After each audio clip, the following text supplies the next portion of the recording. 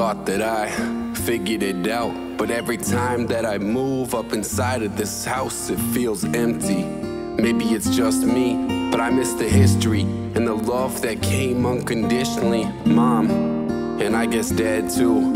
I miss the comfort that I found inside of my room. I miss arguing with my siblings over dumb shit. Never alone, even when emotions were out in the open. We all had our own lives, so I can't fault anybody.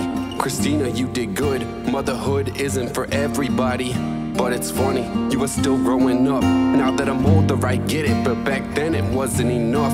You really bit down, and you really put in the days. I remember talking shit about you, spreading your legs. When in reality, I don't know if I would have the strength. You kept that baby, even at your young age. I remember you walking to work in a Chili's, but it was actually chili and a baby inside of your belly. I'm proud of you. I never said it like I should have. I have half the battles and almost fold to my own hands, but you're my sister. And even then, I was proud of the fact no one ever shares the struggles that we had in our past. No one can ever put you down. We know where we're at. And even though we never stayed at a zone on the map, and now we're split. And I'm tired of this.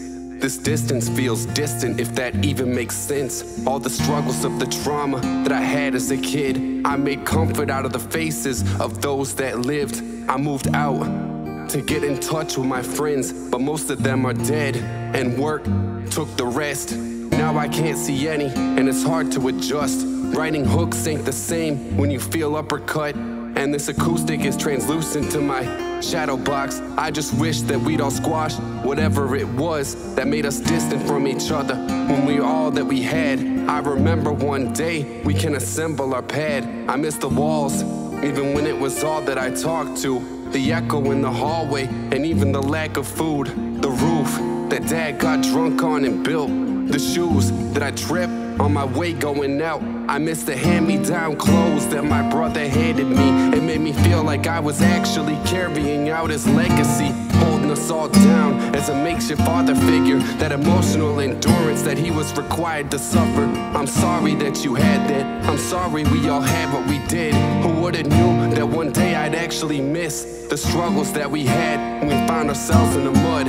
I guess I miss having nothing back when all we had was love.